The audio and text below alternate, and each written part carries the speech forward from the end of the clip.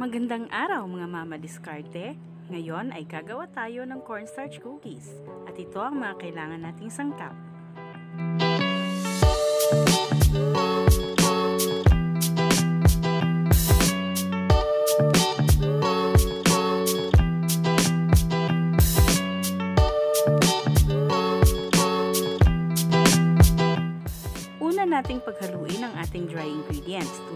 Cornstarch, milk powder, white sugar, baking powder.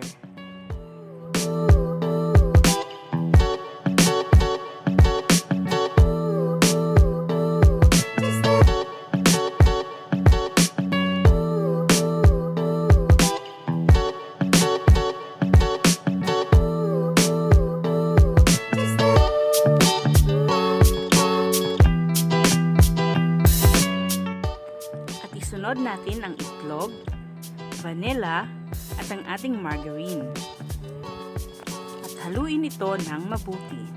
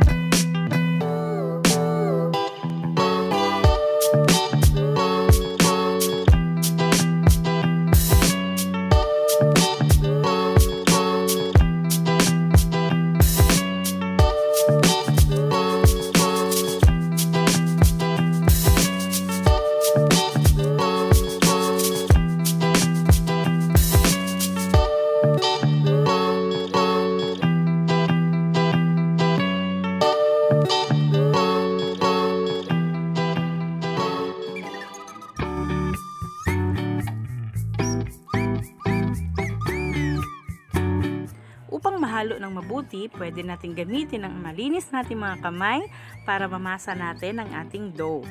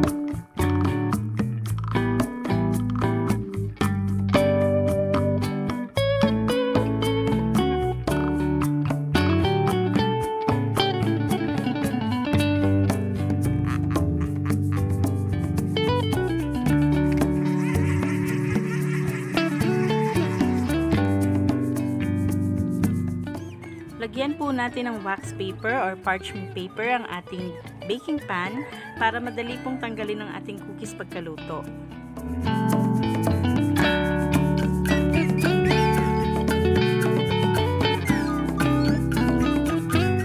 Bilugin po natin ang ating dough at i-flatten ng bahagya ayon sa sizes na gusto ninyo.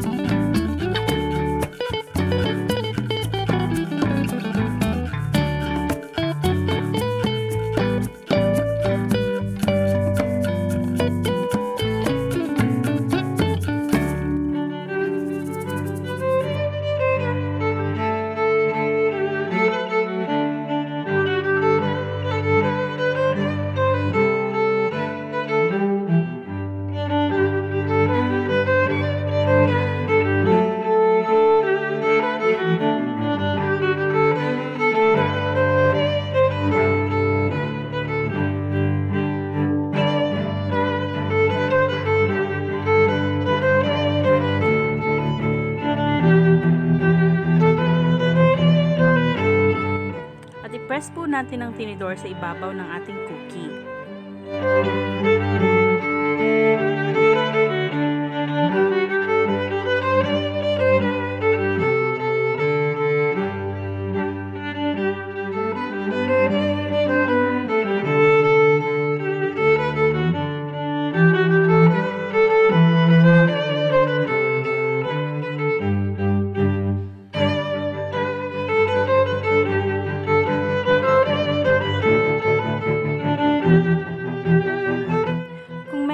Kayong sprinkles, colored sprinkles, pwede ninyong ilagay sa ibabaw ng ating cookies. Ito naman, nilagyan ko lamang po ito ng white sugar.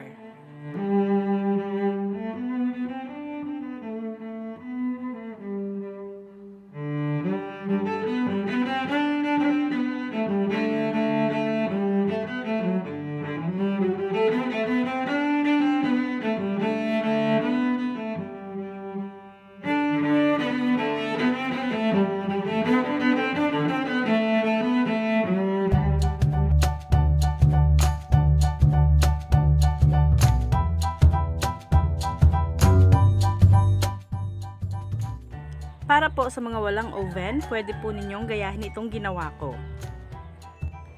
Painitin lang natin ito for 5 minutes on low fire and then pwede na po natin isalang ang ating cookies for 20 minutes on low fire pa rin po.